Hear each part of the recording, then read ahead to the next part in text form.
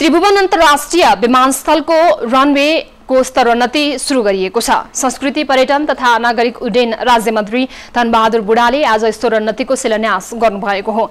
सन् उन्नाइस सय पचहत्तरमा निर्माण गरिएको विमानस्थलको धावन मार्ग यसअघि मर्मत गरेर सञ्चालन गरिँदै आएकोमा पहिलो पटक सम्पूर्ण पिच उप्काएर पुनः कालोपत्रे गर्न लागि हो।